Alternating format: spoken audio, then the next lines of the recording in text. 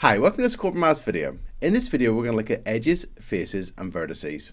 So we're going to look at what edges, faces, and vertices are, and then we're going to look at some typical questions based on them.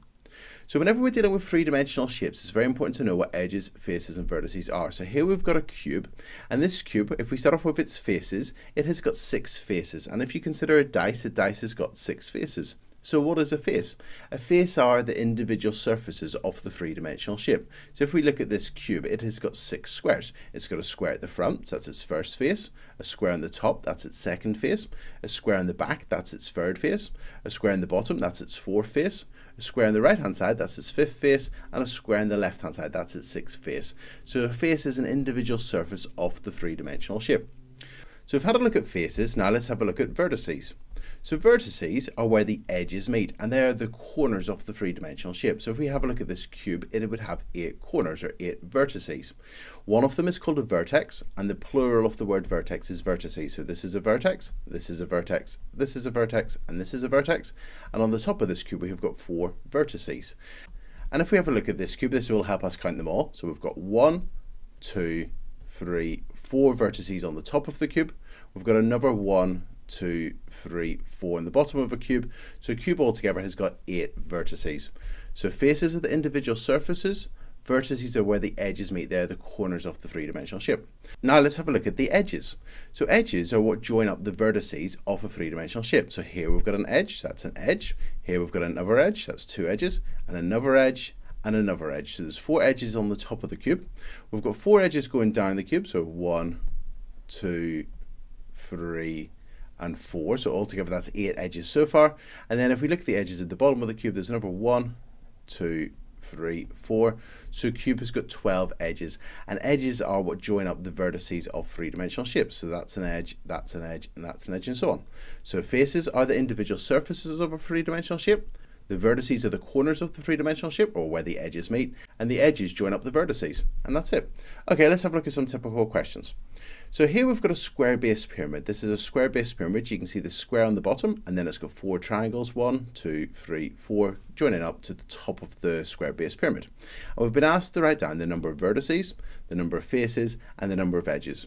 So let's start off with the vertices. So they are the corners of the square base pyramid. If we consider the base, we've got one, two, three, four vertices at the bottom of the square base pyramid and one at the top. So altogether there'd be five vertices. So that's five. Now we're asked to write down the number of faces the square base pyramid has. So because this is a square base pyramid, it's a square on the bottom, so that's one face, that's one. Now let's look at the four triangles, so that's going to be two, three, four, and five. So it's going to be five faces altogether for the square base pyramid.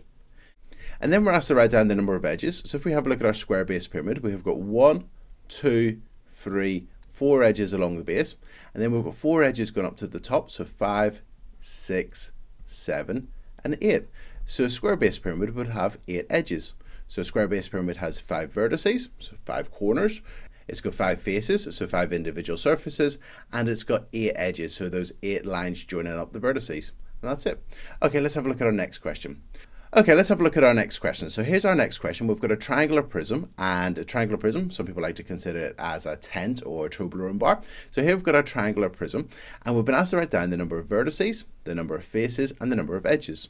So let's start off with the vertices. So that's the number of corners. So that's going to be one, two, three at the front, and then another three at the back, four, five, six. So the six vertices, six corners. Okay, now the faces, let's count the number of faces that this triangular prism has. So it's got one on the front, a triangle, and another triangle on the back, that's two. It's got a rectangle on the bottom, that's three. It's got a rectangle on the right hand side, that's four, and a rectangle on the left hand side, that's five. So there'd be five faces, the triangle at the front, the triangle at the back, the rectangle on the bottom, the rectangle on the right hand side, and the rectangle on the left hand side. So there's five faces altogether. And then finally, the number of edges. So remember, edges are the lines that join up the vertices. So we've got, if we look at the triangle at the front, one, two, three edges. And then if we look at the edges going back, then we've got four, five, and six. And then if we look at the triangle at the back, we've got another three, so it's seven, eight, and nine. So that triangular prism would have nine edges. So a triangular prism has six vertices, six corners. It's got five faces, so five individual surfaces, and it's got nine edges, so there's nine lines joining up those vertices. Okay, let's have a look at our next shape. Okay, so let's have a look at our next shape. So our next shape is a cuboid, and we've been asked to write down the number of vertices, so the number of corners. So That's going to be one, two, three, four on the top. And then if we look at the base, five, six, seven, eight. So there's eight vertices. Now we've been asked to write down the number of faces, so let's count the number of individual surfaces. So we've got a rectangle on the front, that's one. On the top, two. On the back, three. And a rectangle on the bottom, four. And a rectangle or square on the right hand side, that's five. And a rectangle or square on the left hand side, that's six. So this cuboid would have six faces. It's similar to a dice, just a bit longer. And then if we look at the number of edges, so let's start with the top. It's got one, two, three, four edges on the top. It's got four going down, so five, six, seven, and eight. And then if we look at the base, nine, 10, 11, 12. So this cuboid has got 12 edges. So a cuboid has got eight vertices, so eight corners, it's got six faces, and it's got 12 edges. Okay, let's have a look at our next shape. So our next shape is a pentagonal prism. It's a prism because it's got the same cross section, the same shape going through it, and that shape is a pentagon, so it's a pentagonal prism. And we've been asked to write down the number of vertices, that's the number of corners. So if we look at the front of this pentagonal prism, it's got one, two, three, four, five vertices at the front, five corners at the front. And then if we look at the back, that's going to be six, seven, eight, nine, ten. So it's got 10 vertices.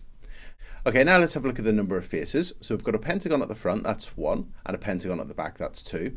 Now let's count the rectangles going around. So we've got a rectangle at the bottom, that's three, a rectangle here, that's four, a rectangle here, that's five, a rectangle here, that's six, and this rectangle on this side is seven. So it's got a pentagon at the front, a pentagon at the back, and it's got five rectangles leading backwards. So it's got seven faces altogether. So now let's count the number of edges. So we've got one, two, three, four, five edges at the front. We've got another five edges leading back, so six, seven, eight, nine, ten. And we've got another five edges at the back, so that's 11, 12, 13, 14, 15. So that would have 15 edges. So a pentagonal prism, it has 10 vertices, so 10 corners, 5 at the front and 5 at the back. It's got 7 faces, so the pentagon at the front, the pentagon at the back of the 5 rectangles, and it's got 15 edges joining up those vertices. And that's it. So in this video, we've looked at what edges, faces, and vertices are. So faces are individual surfaces of a three-dimensional shape. We've looked at vertices, the corners of the three-dimensional shape, and one of them is called a vertex. And we've looked at edges, they are the lines joining those vertices. And that's it. So I hope you found this video useful. If you have found it useful, please like it and please subscribe to the YouTube channel. Thank you. Cheers. Bye.